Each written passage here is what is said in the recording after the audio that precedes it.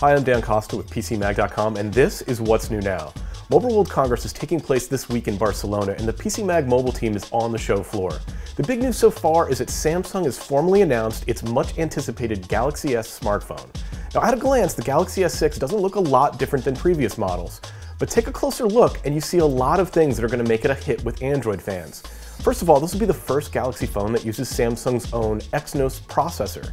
That's important because the Exynos 7 processor is the first chip designed using a 14 nanometer process. We'll have to test it to find out how it really works, but the Exynos 7 should make the Galaxy S6 both very fast and very energy efficient. Samsung also bumped up the camera's resolution up to 16 megapixels and increased the sharpness of the display. The Galaxy S6 has a staggering 577 pixels per inch, but perhaps the most exciting thing about the Galaxy S6 is the build materials. Samsung replaced its traditional plastic construction with Gorilla Glass 4 and aluminum, addressing what is perhaps the biggest complaint among current Galaxy owners.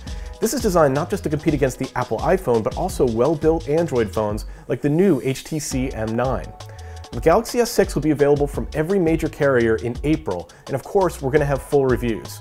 If you want to find out what the phone looks and works like today, check out Sasha Segan's full hands-on on PCMag.com. I'm Dan Costa, and that's What's New Now.